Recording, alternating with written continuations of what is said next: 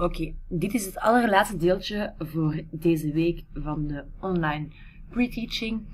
Dus uh, we gaan nu in dit stukje hebben over hoeveel kubieke meter is nu hoeveel liter. Ik heb jullie gezegd, ik kan babbelen over liter en kubieke uh, meter, kubieke decimeter en zo verder. Dus ik kan eigenlijk zeggen, in een emmer zit zoveel liter of zit zoveel kubieke meter. Wat moet je als allereerste onthouden? Is dat, het is zo, is dat je, uh, 1 liter gelijk is aan 1 kubieke decimeter. Dus dat wil eigenlijk zeggen, als je een flesje water hebt van 1 liter, kan je zeggen, in dit flesje water zit 1 liter of zit 1 kubieke decimeter. Hier zie je een afbeelding. In deze afbeelding kan je heel duidelijk zien als je een flesje hebt van 1 liter water en je zou die helemaal leeggieten in een kubus van 1 kubieke decimeter, dan zou de hele inhoud van dat flesje mooi in deze kubus passen. Hoe ziet het er nu juist uit in een tabel?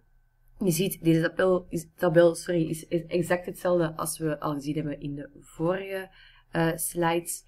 Dus we hebben weer drie kolommen, omdat we nog al praten over die kubieke. Maar wat is er toegevoegd? De inhoudsmaten liter, deciliter, centiliter en milliliter. We hebben gezegd dat 1 kubieke decimeter gelijk is aan 1 liter. Dus daarmee staat de liter hier. Want als ik hier 1 invul, is het 1 kubieke decimeter en ook 1 liter. Oké, en nu kunnen we beginnen aan de oefeningen. We hebben 120 kubieke centimeter en we moeten naar liter gaan. We gaan deze invullen zoals we al geleerd hebben in de tabel. De 0 die komt dus bij de laatste tabel van kubieke centimeter. De 2 en 1 ook. Oké, we moeten naar liter gaan, dus we gaan eigenlijk naar deze rij moeten kijken.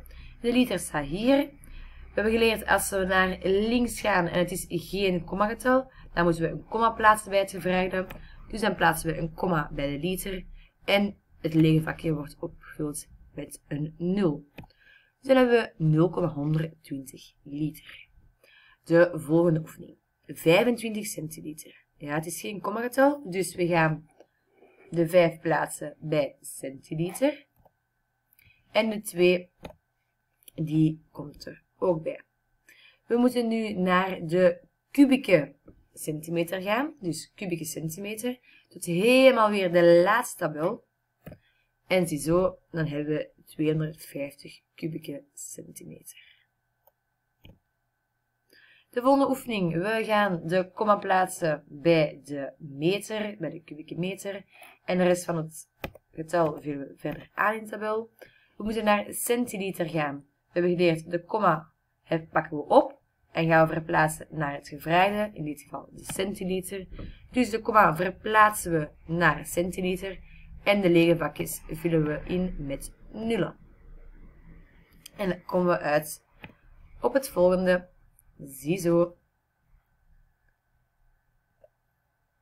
Dus de komma die hier staat, want dit is een veel voorkomende fout, ja, die mag eigenlijk nu weg. Ja, er komt toch niks meer achter, dus eigenlijk heeft deze komma niet zo heel veel waarde meer. Deze komma bestaat niet meer, want we hebben deze verplaatst naar hier.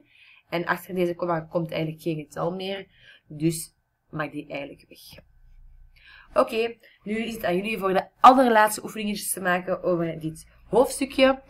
Um, dus naar het mapje van PAV weer gaan en dan oefening 4 maken over de hoeveel kubieke meter is hoeveel liter. Oké, veel succes. Moesten er nog vragen zijn van de vorige oefeningen of van deze oefening, mail zeker naar mij of naar mevrouw Van Look. En dan kunnen wij jou extra oefeningen geven of extra uitleg. Heel veel succes en tot heel snel hopelijk.